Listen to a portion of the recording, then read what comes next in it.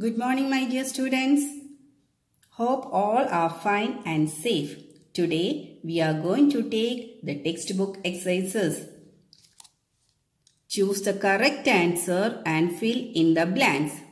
First one, furry fox dash in brackets 2, 5, 3, 6 plates on table.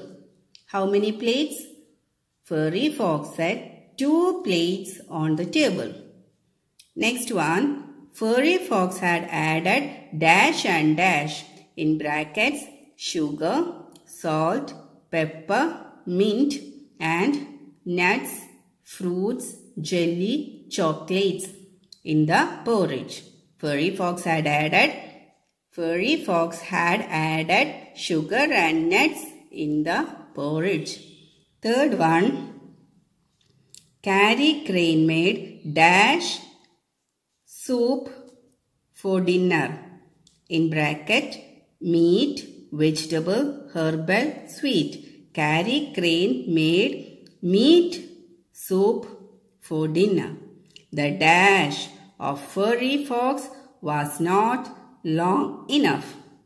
The snout of furry fox was not long enough. Then last one, furry fox could not drink from the dash. In brackets, jug, plate, bowl, glass. Furry fox could not drink from the jug. Our next activity, put a tick if the sentence is correct or a cross if it is wrong. Furry fox invited Carrie Crow for dinner. Is it right or wrong? Yes, very good. It is wrong. So, we can put a cross here. Next one, Carrie Crane licked the plate clean. Is it right or wrong? Yes, very good. It is wrong. Third one, furry fox was cunning. Yes, very good. It is true. Furry fox drank the soup from the jug. Is it true or false? Yes, it is false. So, we can put a cross here. Carrie Crane taught Furry Fox a lesson. Is it true or false? Yes, it is true. So, we can put a tick here. Now, let's learn about these and those. These and those which are used for more than one object. We use these to talk about things and people that are near us. For example, these books are mine. We use those to talk about things that are far away from us. For example, look at those stars. So, these and those which are used for more than one object. Look at the pictures and complete the sentence given below using these or those. First one, dash are bells. Is the bells are near or far? Okay, near. Then, what is used to tell about nearby things? These or those? Very good. These are bells. Second one, dash are stars. Is it near or far? Yes, far. What is used to tell about far away things? These or those? Those. Those are stars. Third one, dash are sweet. Is it near? Yes. So, we can use these are sweets. Fourth one, dash are crackers. Is it near or far? Far. So, what is used to tell about far away things? These or those? Those are crackers.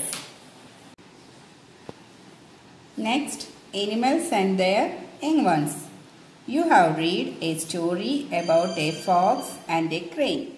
Do you know what a baby fox and a baby crane are called? A baby fox is called a pup and a baby crane is called a chick. Look at the pictures below and match the following animals to their babies. So, match the following. First one, cow. What we call the baby of cow? Yes, calf. Second, dog. Puppy. Third one, cat. Kitten. Lion. Cup. Fifth one, bear.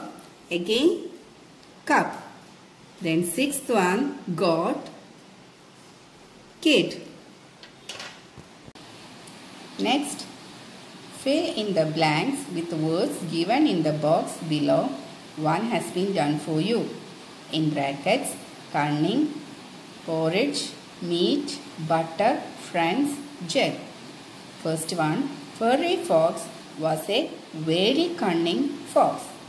Second one, Carrie Crane made delicious dash soup for furry fox.